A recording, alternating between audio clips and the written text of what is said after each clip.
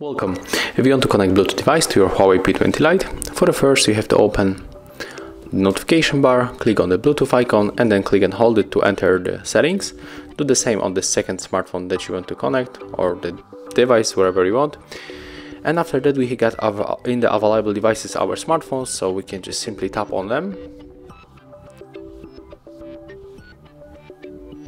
And now just accept the pair on the both devices. And as you can see right now they are connected. So that's how it looks. Thank you guys for watching. Leave thumbs ups, comments and subscribe to our channel.